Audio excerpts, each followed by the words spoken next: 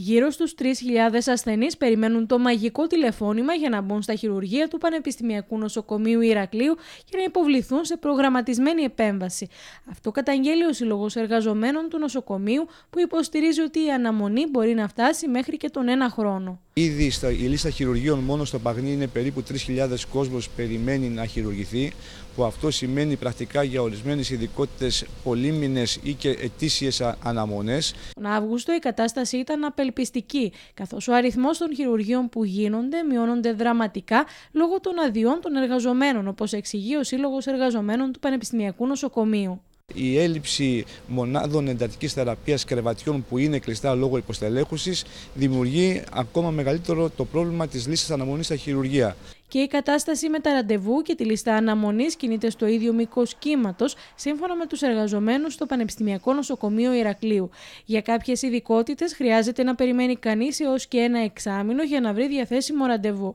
Όπως για παράδειγμα σε κάποια τμήματα της γυναικολογικής, της δερματολογικής, της νευρολογικής και της γαστρεντερολογικής κλινικής, που τα διαθέσιμα ραντεβού ξεκινούν από το Μάρτιο του 2019. Που για πολλές ειδικότητες είναι πάνε για το 19. Ε, γι' αυτό εμείς σαν εργαζόμενοι λέμε ότι το νοσοκομείο θα πρέπει να λειτουργεί ολοήμερα βεβαίως χωρίς να πληρώνει ούτε άμεσα ούτε έμεσα ο, ο εργαζόμενος και ταυτόχρονα να γίνουν προσλήψεις προσωπικού. Και σε άλλες νευραλγικές ειδικότητες παρατηρείται αναμονή τριών, τεσσάρων, ακόμα και πέντε μηνών, όπως είναι για παράδειγμα η παιδιατρική, η μεευτική, η πνευμονολογική, η αιματολογική και η ψυχιατρική κλινική του Παγνή.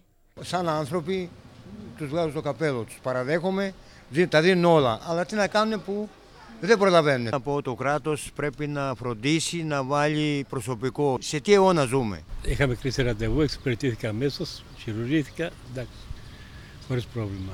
Εγώ πάντως εξυπηρετούμε όταν έρχομαι εδώ και ένα ευχαριστώ στο νοσοκομείο, τίποτα άλλο. Ο κόσμος δεν πάει τώρα στους εξωτερικούς γιατρούς, γι' αυτό είναι αυτό το πράγμα. Αλλά πάρα όλα αυτά, ειδικά το, το πανεπιστημιακό το, εδώ στο Ρέθι, στο Ηράκλειο, είναι τέλειο. Είναι πολύ ο κόσμος. Σκεφτείτε εδώ, τώρα όλη η Κρήτη μαζεύεται εδώ.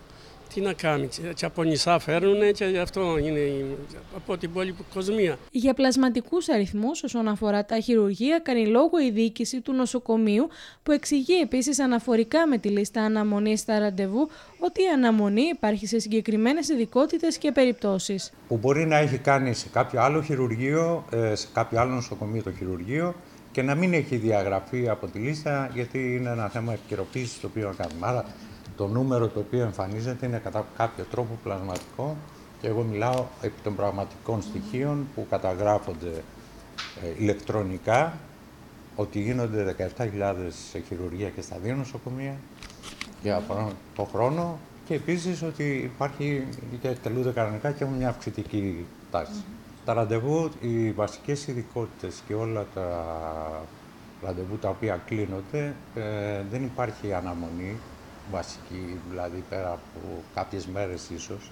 Σε κάποια εξειδικευμένα ιατρία που έχουμε και έλλειψη ειδικοτήτων, ενδοκρινολόγου, ίσως παιδοκαρδιολόγου, εκεί που είναι ειδικό και δεν έχουμε πολλά ιατρία. Ο Υπουργός Υγείας Ανδρέας Ξανθός ξεκαθάρισε τις προηγούμενες ημέρες ότι η μείωση του χρόνου αναμονής των πολιτών για εξέταση στα τμήματα επιγόντων περιστατικών, στα τακτικά εξωτερικά ιατρία των νοσοκομείων, καθώς επίσης και για εξετάσεις και χειρουργία, αποτελεί κεντρική πολιτική προτεραιότητα του Υπουργείου Υγείας.